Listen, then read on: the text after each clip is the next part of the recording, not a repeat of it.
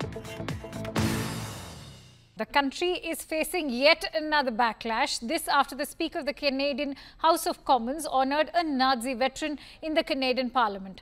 In a session that was attended by Prime Minister Justin Trudeau and Ukrainian President Zelensky, Speaker Anthony Rota recognized Yaroslav Hunka as a hero and thanked him for his service. The Nazi veteran also received a standing ovation from the Canadian Parliament. Both Zelensky and Trudeau joined in acknowledging Hunka with an applause. Hunka served in one of Adolf Hitler's Waffen SS units during World War II. This did not go down well with the rest of the world, and opposition leaders and a Jewish human rights group have now demanded an apology from Speaker Rota for honoring a person whose lies with the Nazi are well documented. The Speaker of the House of Commons later also issued an apology, apology sorry, to the Jewish community and claimed that the entire initiative was his own. Meanwhile, Canada's Prime Minister Justin Trudeau also expressed that he was deeply embarrassed by this incident. On the other hand, the Kremlin spokesperson Dmitry Peskov has stated that the entire episode showed a careless disregard for historical truth. What does such an embarrassment mean for the Trudeau administration and for the Prime Minister himself, that too amid a backlash that's already taking place geopolitically as far as Canada's support to Khalistan extremism is concerned. Let's try and place the geopolitical standing of such a controversy. And for that, let me introduce my guest today. I'm joined in by Puneet Sahani, who's a scholar on Khalistan extremism and the origins of Sikhism. Many thanks to you, Puneet, for joining in. How do you weigh in on the apology that's been offered by Justin Trudeau and the Speaker of the House of Commons, Mr. Rota? Many are saying it's too little too late. I just think he's like out of his depth. He is not a serious politician. So, you know, whoever presents something in front of him, uh, you know, he he just comes and, you know, speaks it. So it, it just shows, you know, like he's not just compromised. Uh, but he just ha doesn't have gravitas, and it's very sad what Canada is undergoing. All right. Also, leader of the opposition, Pierre Poilievre, has slammed the speaker and Trudeau, demanding the resignation of the speaker amid such a diplomatic row with India over Khalistan extremism. How is honoring of a Nazi in the Canadian Parliament going to be viewed all over the world? Of course, you know, it is viewed in like terrible, terrible light and i think you know it will probably gather more attention because you know like of course i believe all human lives are equal but you know of course white lives matter more than brown lives in the eyes of the western world. And also you know like the world is uh, much much more alarmed about anti-semitism than hindu phobia.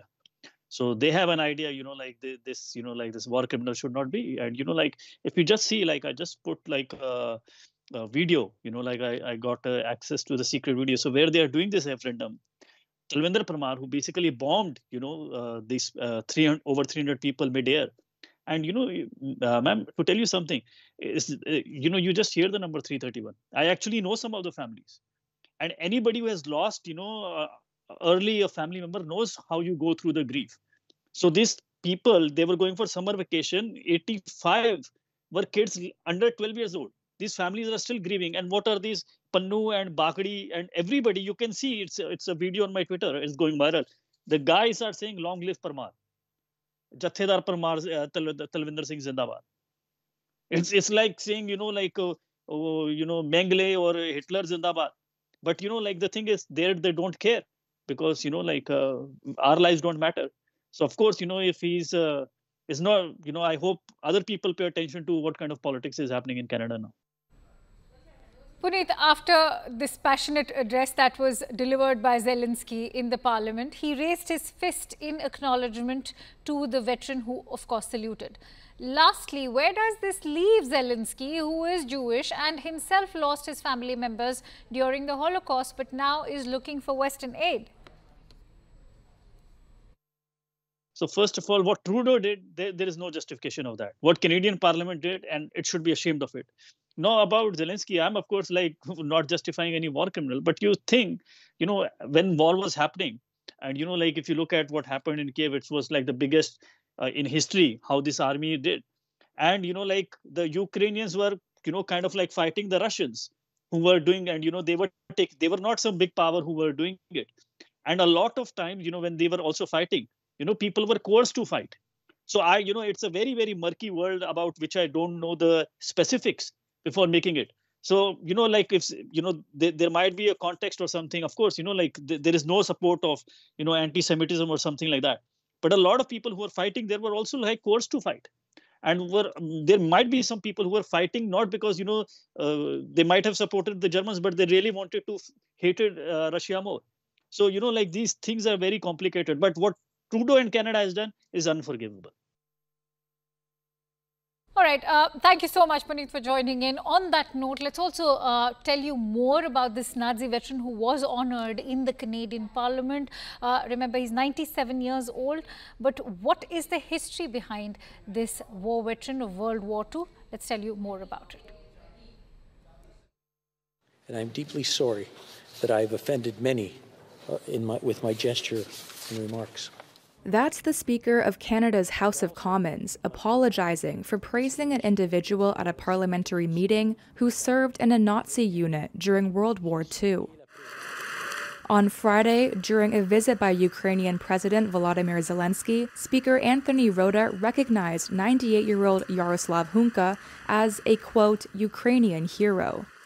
Hunka served in World War II as a member of the 14th Waffen Grenadier Division of the SS. That's according to the Friends of Simon Wiesenthal Center, a Jewish human rights group that demanded an apology on Sunday.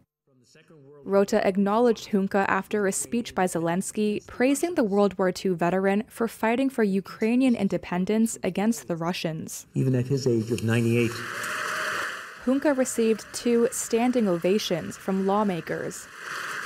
In his apology, Rota said he alone was responsible. No one including you, my fellow parliamentarians, or Ukraine, the Ukraine delegation, was privy to my remarks prior to their delivery. In Parliament, reaction came quickly from the government. I think it's been deeply embarrassing for Canada, and I think it was deeply embarrassing for the President of the Ukraine, who came here in friendship and members of the opposition. It was profoundly hurtful for so many Canadians and, and to people around the world. And he has to step down as a consequence of that. Hunka could not be reached for comment. Obviously, it's extremely upsetting that this happened. Uh, the speaker, speaker has uh, acknowledged his mistake uh, and has apologized. Uh, but this is something that is deeply embarrassing to the Parliament of Canada and, by extension, to all Canadians. Uh, I think particularly of Jewish MPs and all members of the Jewish community across the country who are uh, celebrating Yom or commemorating Yom Kippur today.